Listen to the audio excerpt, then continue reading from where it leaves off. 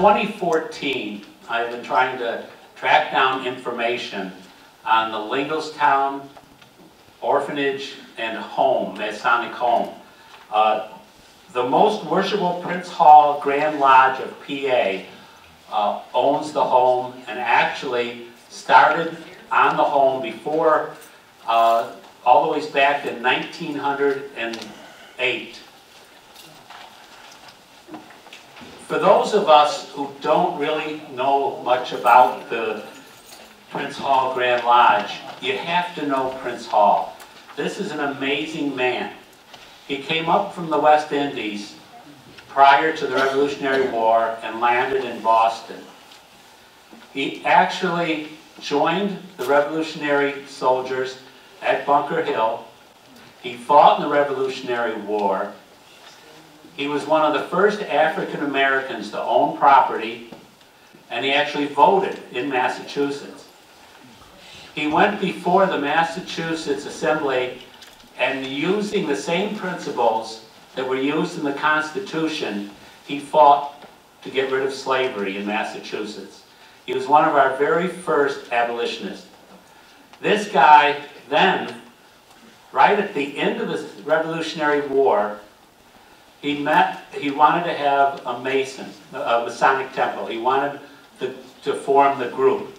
Well, the thinkers in Massachusetts didn't think they wanted to do that. So what did he do? He went to the Brits. And they gave him his first charter. And he started in Massachusetts. In the 1790s, he came to Philadelphia. And he helped start the Masons in Philadelphia. Now, I'm not a Mason. But for those of you that are Masons, or those that know of the Masons, understand that they're formed to help people. Education-wise, taking care of the elderly, taking care of the orphans, taking, helping to promote people, okay, within their group, within their area, within their community, and helping to, them to grow. Prince Hall believed in that, and he did that all his life. This is 1990 in downtown Philadelphia. This is the Grand Lodge for all of Pennsylvania. They were celebrating almost 100 years in 19, I'm sorry, almost 200 years in 1990. So you have to understand, this was going on for over 200 years, long before the Civil War. Okay? These men were building a community, they were taking care and helping the people in that community. And one of the things they did in uh, Philadelphia is education.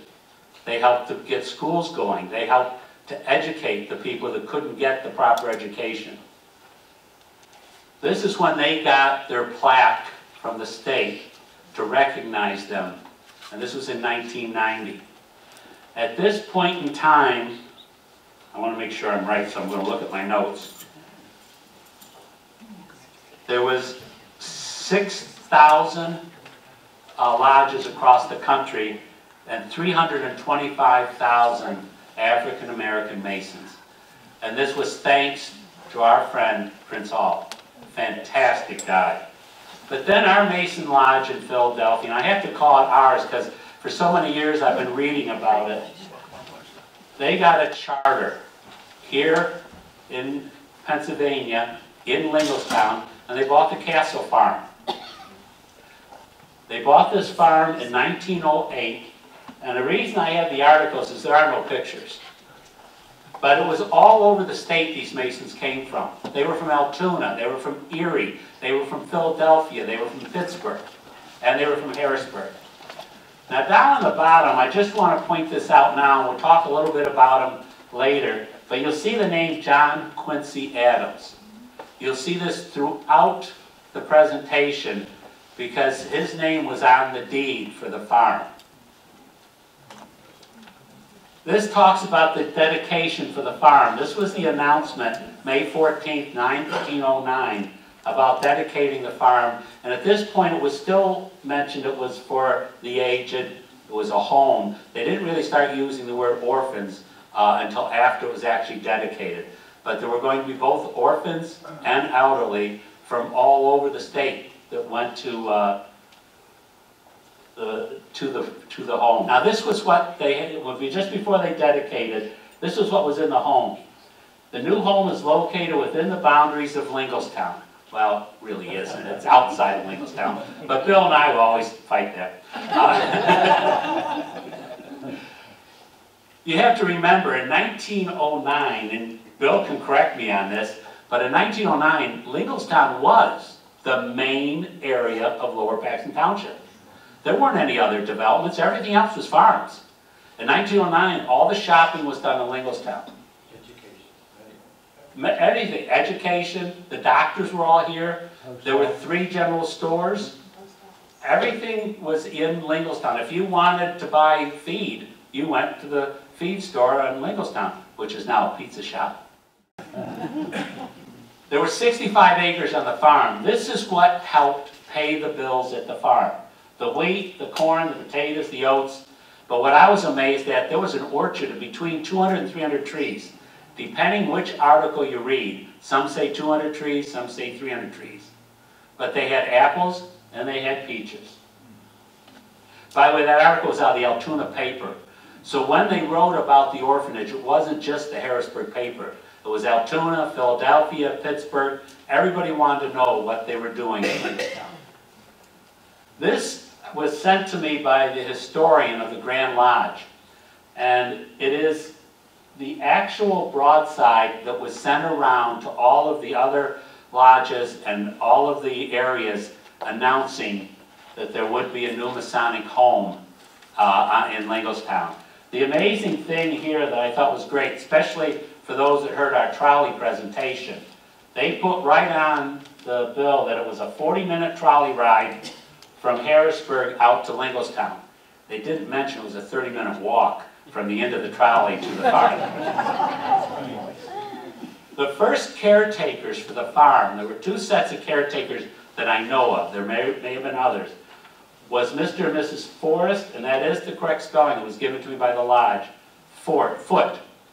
They, they started in 1909, and they were the first ones that took care of people on the farm and took care of the farm. There were others that were hired locally that came in and helped with the farm. Okay, there we go. Now, this is what I thought was really interesting, and in fact, in talking to the historian, he was unaware of it. This was March 13th, 1911. They dedicated the cemetery on the farm. And the first, well, they called inmate, but the first person was buried in the uh, cemetery at the farm. Again, the grand chaplain, I just want to point out his name, John Q. Adams. His name shows up a lot because he was here in Harrisburg, he was one of the board members, he helped at the farm. This was Jeremiah Hollis. He was one of the first ones I found that was actually passed away at the home. And this was actually from 1939. There had been more before him, but we were able to find his death certificate. And it says on there where he was buried, and it's Masonic, Linglestown, Pennsylvania. So that confirms with us that there definitely was a cemetery there. These three articles span a period of time, but I thought they were very interesting. Three men are in jail and accused of a theft at the farm. They stole produce from the farm. What I thought was interesting here is that they found, they had a retired detective from the city of Harrisburg track him down. He had to go to York. But he was able to capture him. They served time for stealing from the farm. And I think in that day and age, that's something that we should understand, that they did work with people. The second one is the most amazing thing. Now remember, it was 1908 they purchased the farm. 1911 they were debt-free. They paid off the mortgage. Now that's amazing. The farm, because of selling the produce, because of what, of donations from all of the lodges, all the lodges supported the farm when they could. They were able to keep it debt-free. The last one is the only other person I found that had passed away in the home, uh, at least that there wasn't uh, an obituary on him, and that was in 1926. Here's the interesting part. In 1924, the Elmira Cemetery Association claimed ownership of the farm. Seemed that our friend John Q. Adams, when he passed away, he left everything in his estate to the Elmira Cemetery Association. And because he had signed the deed to the farm, and it was in his name, the farm went to the Cemetery Association. Now, what happened is, if you look at the date, they asked for a hearing at the courts in 1924.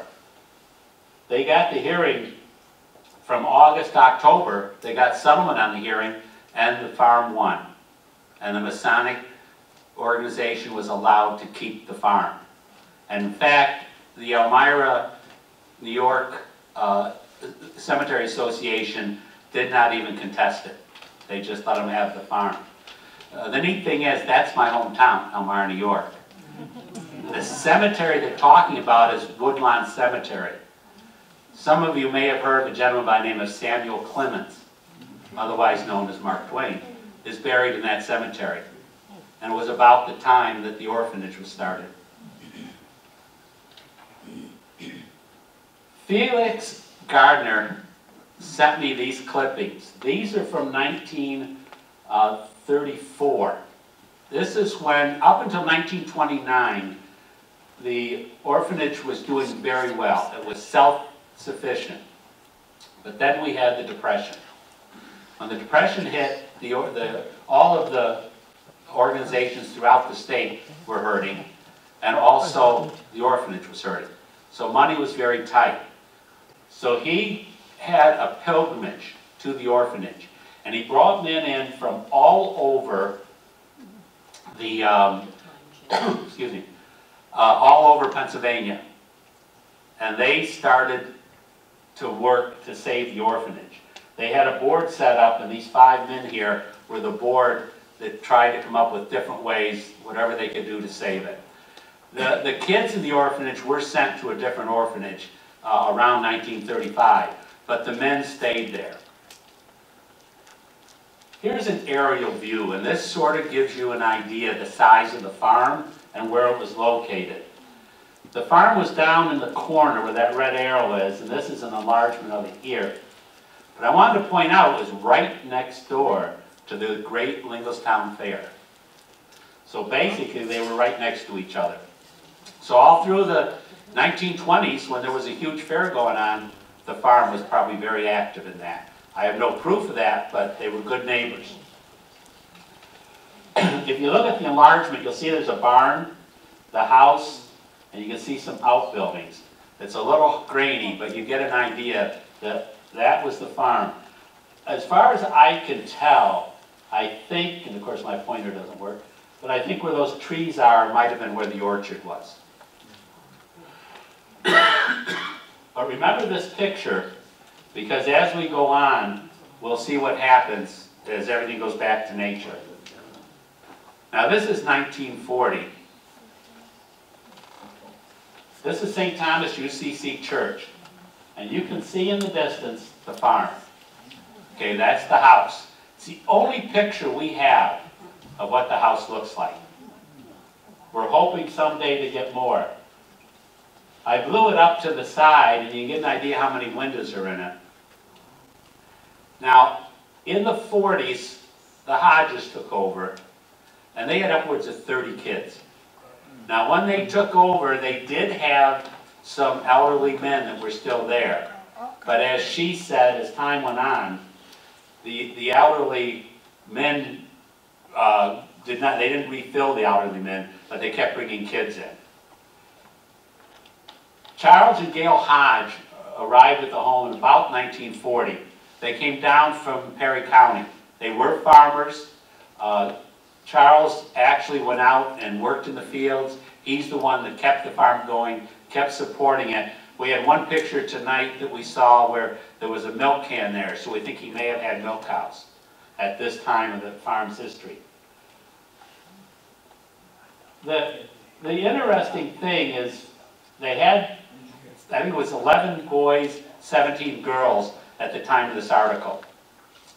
Uh, The children attended Lower Paxton High School. They attended Vacation Bible School at the Church of God. We have people here in the audience that we hope will talk later, that rode the bus with them. We, we actually had them involved in the community. The home, because they were, at this point in time, there wasn't a lot of money coming in from the Grand Lodge. So at this point in time, the community was helping the Hodges. We had the Zion Lutheran Church helped, both helping out with food and clothing, but also with church services. The American Legion Post 272 helped them out at Christmas, helped them out with parties, uh, was very involved with them through the 40s. The Lions Club was very helpful. They also had uh, different parties for them throughout the year. The Colonial Park Fire Department, the Kiwanis Club was amazing. They actually donated a whole park to them. You'll see that in a minute. They had monkey bars, they had slides, they had swings. But the local residents were involved with the Hodges. They really, there was definitely communication back and forth. And I happen to have a neighbor here. Now Carolyn Byer lived on a farm across the street. And I'm gonna let her tell you. grandparents lived across the No, street. sorry. That's okay, That's why I let her tell the story. that's okay. Uh, my grandparents lived across from St. Thomas Reformed in the old farmhouse, which I had absolute run of. I, speaking of the playground, I was jealous of the playground these kids had. So they let us play there. I lived in the first house behind St. Thomas, and in the one picture, if you flash back there, you can see a little piece of our garage there above the shed. That's our garage, and uh, the house is behind this lady's head. Um, I remember just growing up and thinking this was fantastic because Uncle Charlie was constantly in the field. He had his donkeys, he had his plow. Um, He worked that farm beautifully. He took excellent care, he and the boys, I think, because there was always kids with him working the farm and those fields. And of course, that was right across from our home, so it was very visible. We were always waving hi and everything. And um, to me, it was just a great atmosphere to grow up in because there were so few kids in our neighborhood. And here we have all these 30 kids, and it's just a minefield of friends. But Mamie and, I want to call her Mamie, and she wasn't Mamie. Uh, Aunt Gladys and Uncle Charlie, which the kids called them, were just the sweetest, kindest people. And I dearly loved them myself. Um, This is my mother in the coat here. She was, al- she was a brownie, she had a little brownie camera. So thanks to her, we have a lot of pictures of our childhood growing up. Um, I know that was her camera that took the pictures. And these are the kids, that's my sister here in the front, and that little one-year, one or two-year-old back there being held is me. Uh, As you see, the, there was snow on the road, and at times the road would literally drift over, and you had to walk out the road to catch the school bus and come up to the top of the hill to catch the school bus. You can see that the bread man decided he wasn't going back the road. Martha Hinkle, our neighbor, bought three loaves of bread that day. And, um, yeah, we just had a lot of fun. I, I was quite small, but I don't know when the orphanage closed, but I was probably in my early teens till things began to happen, that it was no longer there. Um, Joe, go back to, please, we only briefly, um, Go back to one what? more. We ju- oh, there, no, there. We didn't, we see what that. No, we're, I was gonna talk about this in a minute. This, already. Thank you. Um, Are are there any of the neighbors that grew up in that given area? Put your hand up if you did. I. I didn't grow up there, but I wanted, we built our house in seventy-two, so when we built our house, your parents lived in your house, and I got to know them a little bit because, uh, the sister-in-law and brother and sister-in-law who lived out on Old Jonestown Road. Okay. Chrysers, lived across from my parents. Oh, for heaven's sake. It's a small world, that's why I wondered, because there's there are a lot of faces that seem very familiar to me, and maybe nobody through the Chrysers. So, anyway, Don't go nice. Thank you, Carolyn. Carolyn met me one day at the uh, East Shore Library. I, I tried for over two years to find pictures, and I kept posting every so many months on the webpage, uh, if anybody has any pictures of the orphanage. Well, uh, one day Kathy Gifford put the picture up of the church with the orphanage behind it. And I think Carolyn saw that, and she sent me a note saying, I have some pictures. And it took us a few days to figure out where we were going to meet. But it was amazing to talk to somebody that actually was at the orphanage. When, when you can talk to somebody that's met the kids and talked to them, it's an unbelievable story. You got to look at this, these two pictures. The minister would come every Sunday to hold Sunday school there at the orphanage.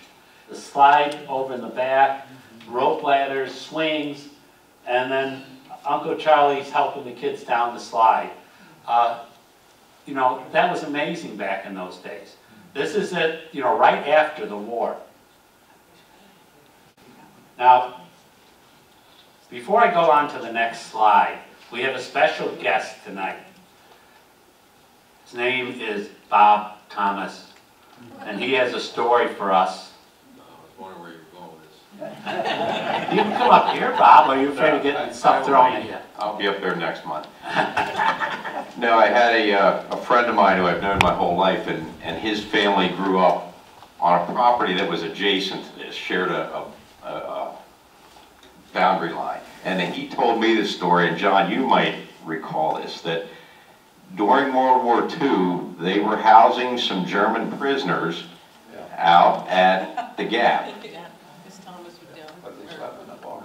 And evidently, these prisoners found their way to the orphanage. You know, hungry, cold, whatever. And, and the story I heard was, you know, probably Mr. Hodge told, they took them in, but they told them, we're gonna have to tell the police you're here. Hmm. Which, which they did, and then the police came and took these German prisoners back. But somehow they found their way to this orphanage. Uh, you remember that, John, anything like that? Yeah, I do. George I do. reminded me of it. Here, give her a mic so we can hear. That's Tom No, Jordan's that's sister. Yeah, I remember that story. And I used to ride the bus, the school bus with the children there. You're live.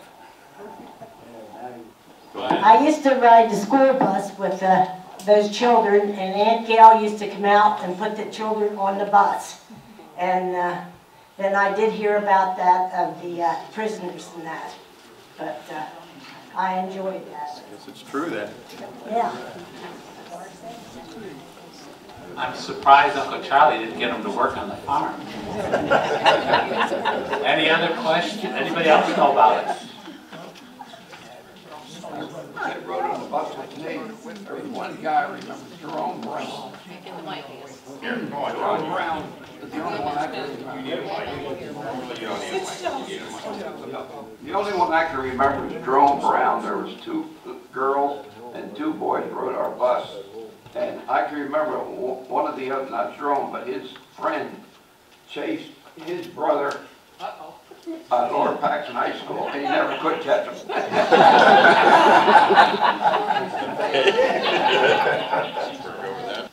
This next article that I threw up here uh, comes from May 25th, 1948. Now, one of the things about this, it was the first Shrine Circus was held at the Farm Show Building that was in Harrisburg. And they invited 5,000 different groups to come. And in 1948, up where the red arrow is, it says that the Linglestown Orphanage and Home uh, was at that showing. So they were involved even down into the city. This picture here is what is left of the, of the orphanage itself. Uh, It looks like a cement trough. It's right out near the highway. Those people that drive on Linglestown Road have passed it a million times and never seen it. Now, the picture my wife wouldn't let me put up was the dead deer that was next to it. So you didn't see that. The deer on that field is unbelievable. I, I don't know if you can hunt it or not because there's so much property around it, but they have found a safe haven. All right, now we're getting interesting. 1956. We think the farm closed, the farm closed down someplace between 1952 and 1955. We don't have a definite date. I read someplace it was 55, but uh, when I was at the meeting the other day, Mr. Chris, uh, the supervisor, told me it was, he thought it was 52. But I'm going to be talking to somebody very soon that has all the school records that's going to help me get to the bottom of it. Right, Bob? If you notice the farm in 1956, it's still a farm. You can see where somebody was plowing it. Just 14 years later, look how the trees filled it in. It's come straight across. Now, by this time, of course, that's today. It's gone back to nature. I hear it's a great place for bird watching, for hiking, for things like that, but don't do it. It's private property unless you have permission. Uh, it is beautiful land, but that little path that's right through the middle, down by the corner, that's electrical lines. That's the cross, the, there is, um, uh, the Penn Electric or PP&L goes across there. What we want to do, and what we're going to work on for the next few months, is getting a state plaque out near the property to let people know what the Masons did, to let them know how hard they worked to keep this orphanage and to keep uh, the, the home going even through the Depression. Uh, hopefully, before we get done with this, we'll get to meet some of the relatives of the kids, if not, some of the kids that were at the orphanage. Uh, we're trying to get the word out, we want to talk to them. Today, I actually got to talk to a relative of the Hodges. Uh, he, he was aware of them, uh, he had talked to them. In fact, I was supposed to tell Coach that, see, he is related to the Hodges. He was telling me on the phone today and a lot of people didn't think he was related. But he is. We are, we are. This morning, there's, a- there's a few of us here. He's here. There's a few of us here. Great. I want to see all of you afterwards. The, the interesting thing is, I believe that this is long overdue. And I think that we should be able to honor the location. The orphanage is gone, but the land is still there. And I really want to double thank, okay, the, the, the Grand Lodge for keeping it. Because they've kept it like this. All of Lower Paxton has houses but this. And we still have nature in Lower Paxton. Every time you go by it, you can remember what it was like in Lower Paxton. Did it, did it burn down or fall down or That- deteriorate or what? I had heard different stories, okay? I, uh, somebody here may know better than I if it burnt down. We were in a service. Yeah. Yeah, I, I, my understanding was torn down. Somebody said it burnt down, somebody said the barn burnt down, but everything was removed, so it, it was old, okay? It was built in nineteen oh eight, so, and it, it had been deteriorating. There's a lot of people to thank, okay? A lot of people helped me get this information, and I wanted to thank them very much. But I also want to honor the, the Grand Lodge in Philadelphia, because the historian there and some of the people there were able to get me information uh, that I couldn't find anywhere else. And there's the Grand Lodge of Philadelphia.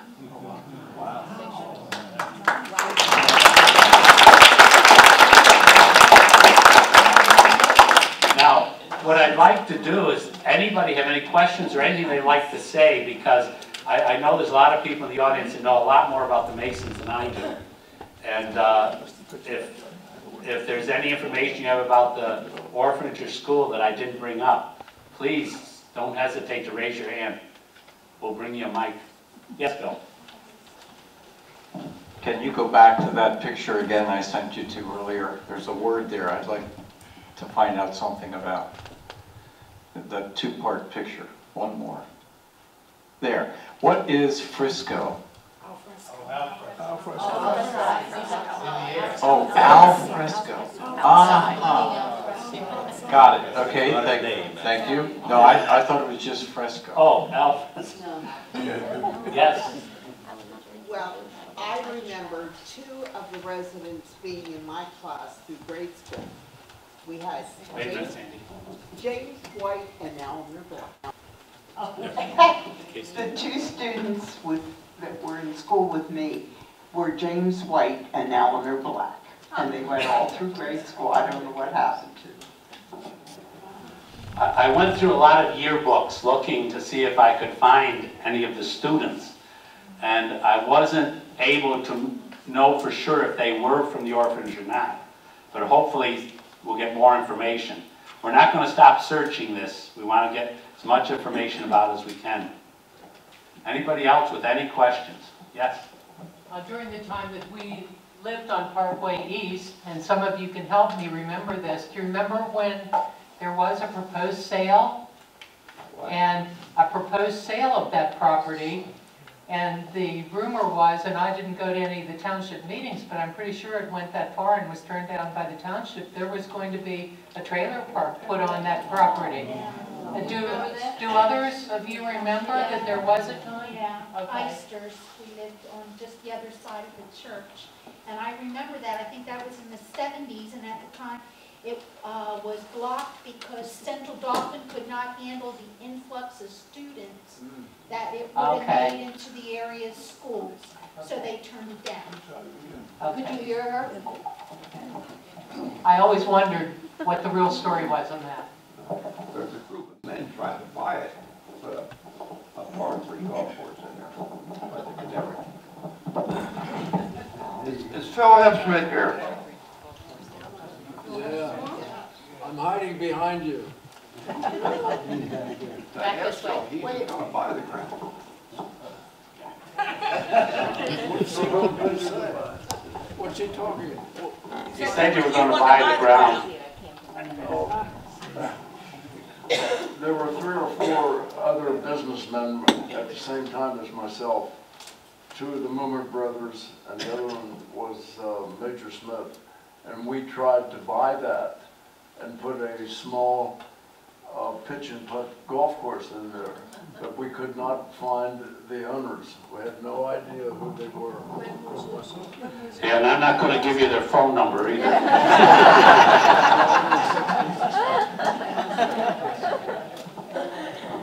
Yes, sir. What would it take to get the markers placed and those kinds of things? Or they're not in now presently, so the area is not marked? There's, there's no historical markers on the property at this time. Uh, What we have to do is apply to the state. Uh, It's a, it's a long process, but we have to December 1st. Uh, We have an application, which I first have to go to the Grand Lodge, because they own the property, get their permission.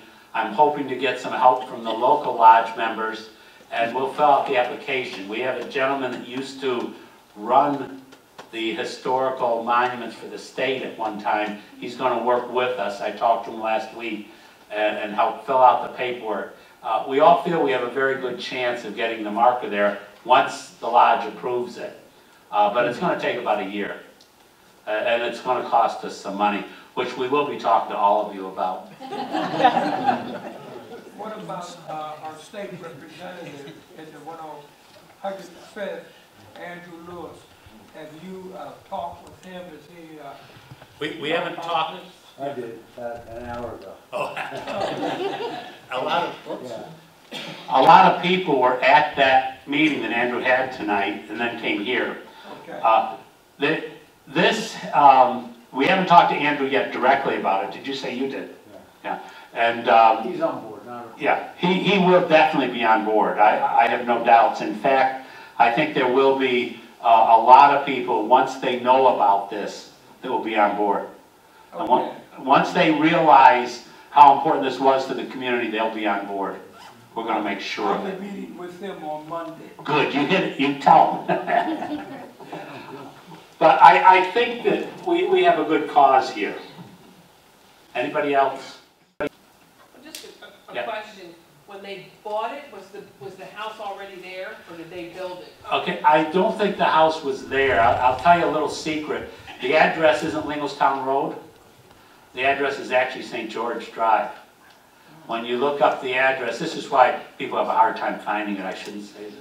Uh, But the, the address actually on the, all the uh, tax papers is back on uh, the other street. I have no idea why, uh, and someday we'll find out, but uh, it's, and the, the organization does not want to sell it. They, they want to preserve it, and I, I'm very grateful.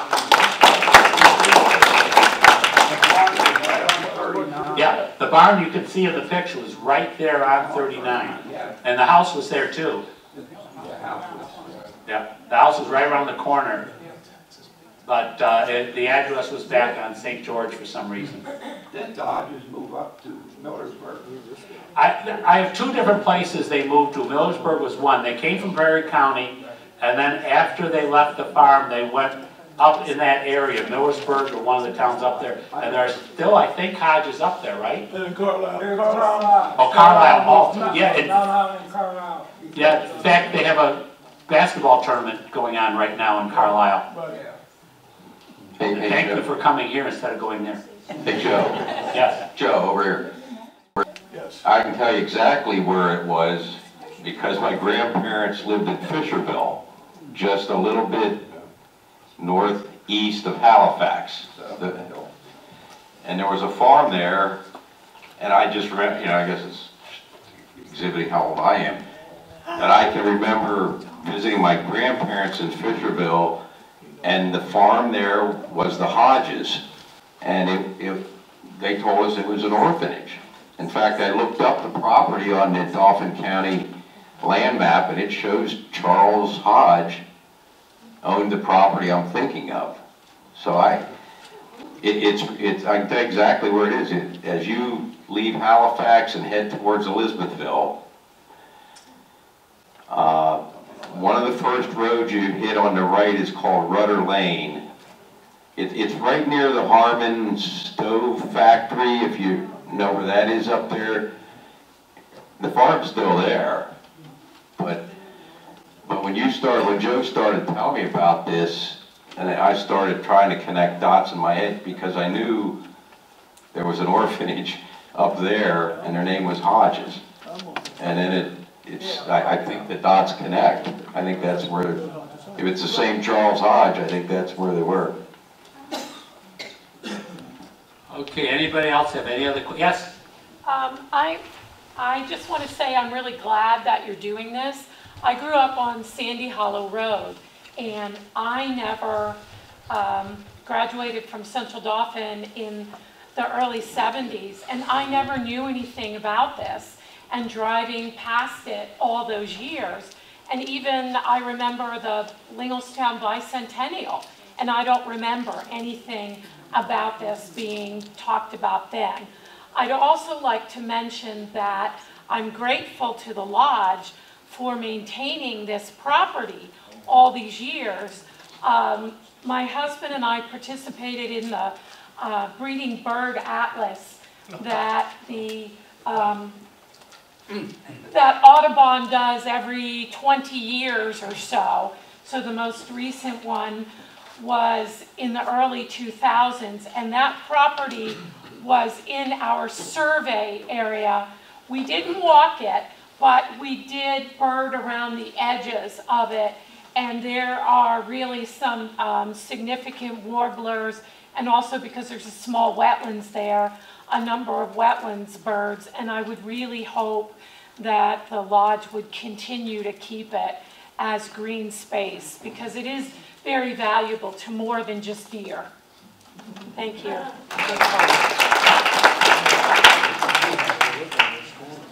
Okay, yes, sir. Ma'am?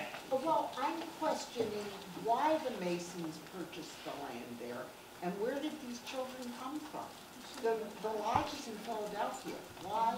Well, the lodge, actually, the, the Grand Lodge is in Philadelphia, but all the lodges in Pennsylvania, okay, at the time, they were in Altoona, Erie, Pittsburgh, uh, Harrisburg, uh, all the, and there's multiple lodges that belong to the Grand Lodge, uh, they sent kids from all over. Some of these men that we found their death notices on, uh, one went to Baltimore, uh, when they buried him, because even though he was from Pittsburgh, his family was in Baltimore. Uh, and they would come from all over to live there. Um, the, the reason I think that they, the, the lodge was originally got it was because they were able to purchase the castle farm.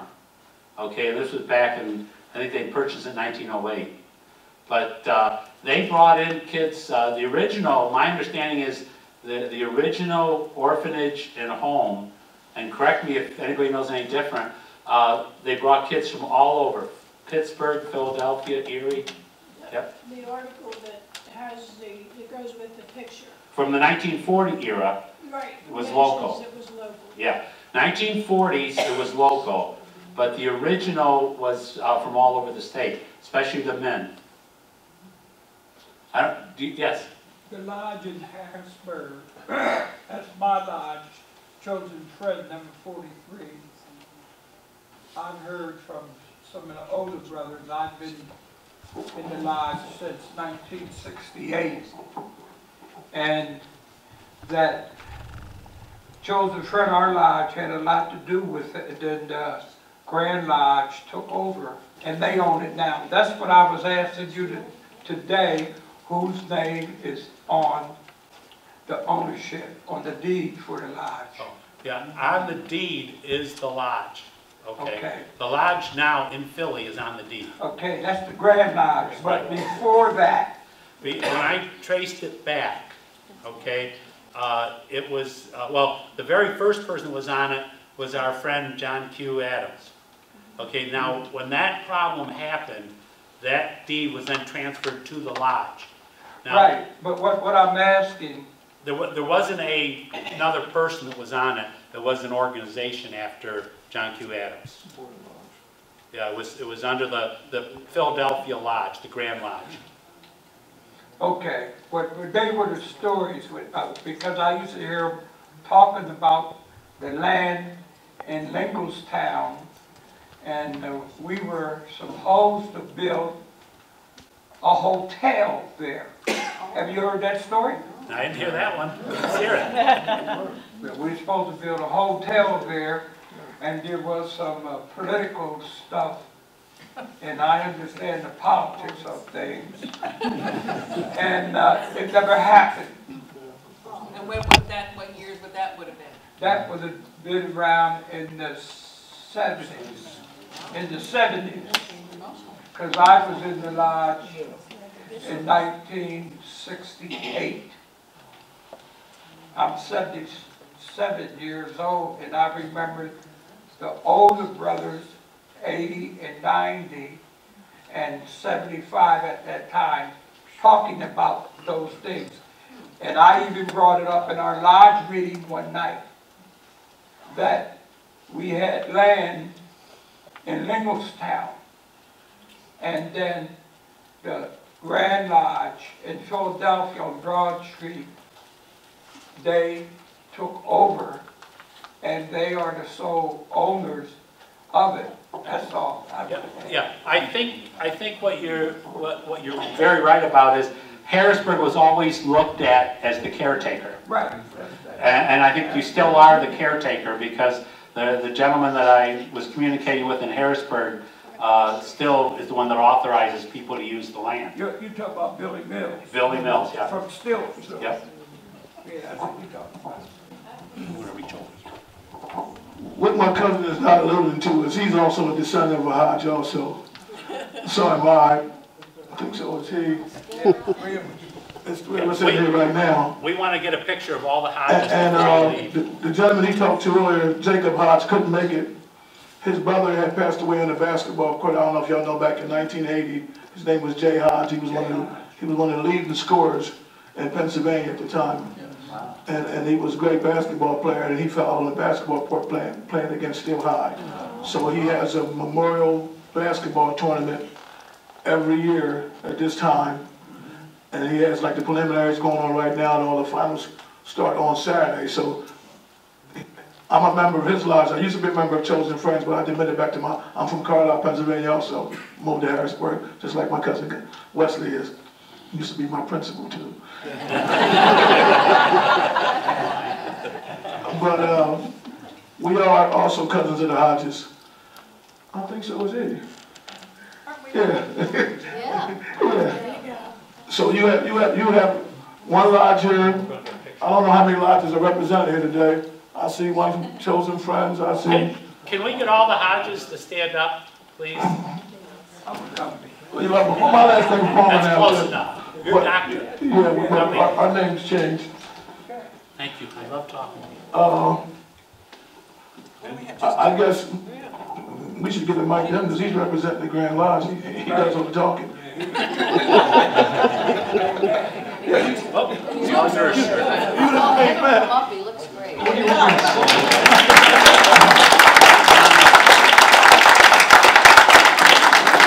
You know, I first learned of this, there is a committee that uh, the Grand Lodge has that uh, represents the, uh, the property, uh, Mills and Company. Uh, But I happened to be at the hardware store over on Linglestown Road about a week ago when I was looking at, I was paying my bill and I was looking at the counter and there was a Paxton Herald there. And I said, wow, wow, this is, this is great, about a week ago. So I said, hey, I'm gonna go to that. And so I notified the Grand Lodge about it. They already knew about it through other channels, through the official channels, but I sent them an email. And in preparing for this, I said, well, what can I uh, tell them about, about Prince Hall and about uh, the Masons? Well, they know a hundred times, a million times more than I. My goodness, this is amazing. This is so great.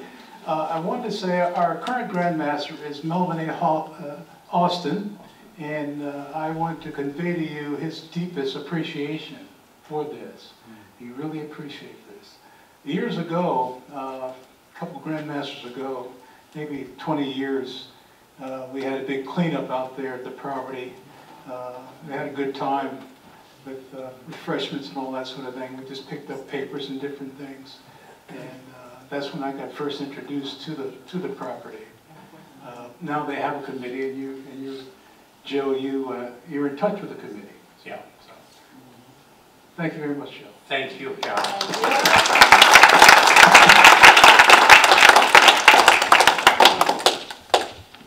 Sir, Yeah, oh, I hope that the police don't come after me, but because I grew up near there, after we had our own property in the seventies, we took a couple foundation stones from the house.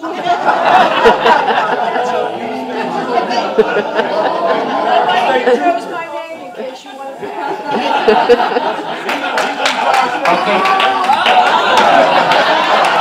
I didn't tell you that, but I'm a retired state policeman.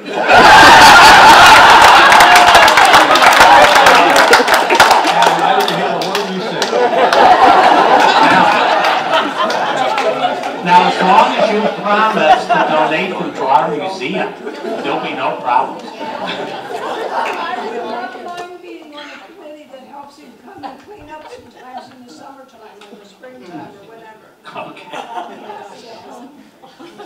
Anybody else with any questions? Does the name Foot, does the name Foot come in that anywhere? Yeah, Foot, Foot was the first caretaker, but I, I- th- they were quite elderly by 1940. They started in 1908. A- Foot's had a farm behind Linglestown. Yes. He used to bring milk over to Linglestown every day. That may be a relative, that most likely was, They had a- the They had picture. a son called, yeah, Margaret was the, was the girl's name, she went to Lower Paxton. And what was the, Jerome, no, that's wrong. Right. Franklin. Franklin, Franklin Foot. Yeah. Bob. Franklin and his sister Margaret. And I think Franklin got killed in Harrisburg one time. Is that- You remember that, Mark? That's what I know. I know he came to our farm one night drunk. His dad and mom was not like that. No, the police is a problem. He took our gas pump there for our tractors and pulled it right out of the ground. He was one strong guy. I think he got killed in Harrisburg. Oh, But I don't know, I don't know what happened to Marcus, but his dad and mom was very nice. So was Marcus. Well, Franklin was all right. When he wasn't drinking. Okay. I, any other final questions, and then we'll move on. Yes, Bill? What is the picture? The pictures is the gentleman he was talking about is Melvin A. Austin, who is the Grand Master of all of Pennsylvania. He's the big guy, right? Yeah, that's correct, yeah. Now, the building, I don't know, what's the build? Let me building? correct something here Yeah. the Grand Lodge of all of Pennsylvania. Here, to ahead. give a little history of the Masons. Good. Uh, Well, a long time ago, the, the white Grand Lodge didn't recognize the black Masons, a long time ago. Uh, Well, I guess 30 years ago, the two Grand Masters met, the white grandmaster and the black grandmaster. I hate to put it that way. That's the the only way you can do it. But uh, they, they, we meet, we integrate, we, we, we join each other's lodges, we do all kinds of things together. Uh, but back then, so what, what our Grand Masters call, is called the uh, most worshipful grandmaster. Okay, the white master is called the right worshipful Grand Master. So we're the most worshipful, he's a right, worshipful. They get together, we visit, we have a good time, uh, we have, uh, affairs together, and it's, it's all good. Thank you very much. I don't know where That is, that, that came off the website. I wanted his picture, and the only way I could get it was to take it with the building, and it's in Pittsburgh someplace. Uh, Philadelphia, not Pittsburgh, Philadelphia. Yes, sir. Uh, as a parent that lives right here in this, this area, I, I'm not originally from central Pennsylvania. So I moved here, we needed to find a place to stay, and we landed not too far, right by the library. And I would say you made the right choice. Yes. We made, we made the right choice. You don't always hear all the positive things, but in this room, hearing the stories, and really not that long ago, but it feels that long ago. Yeah. If we could take this and kind of pick it up and say, the rest of the, of America, take a look.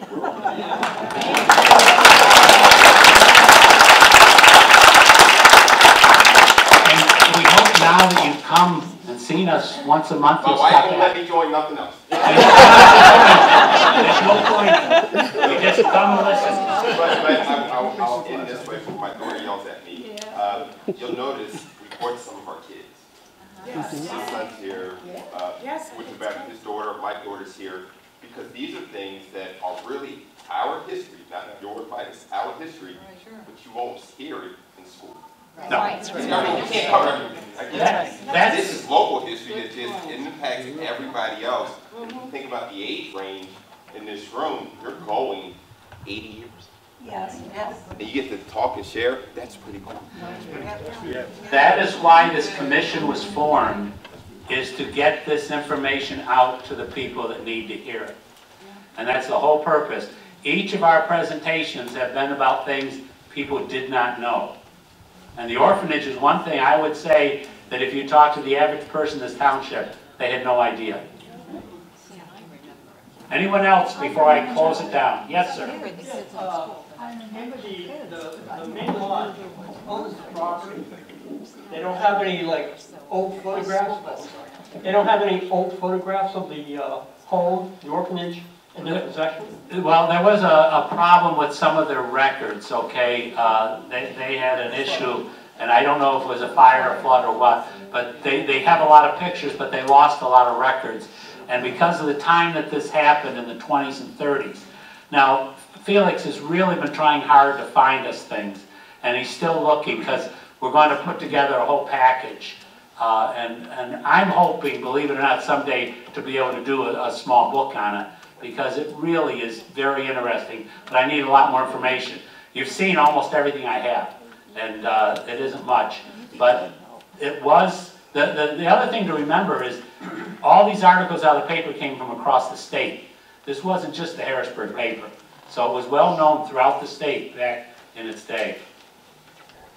Thank you very much, everyone.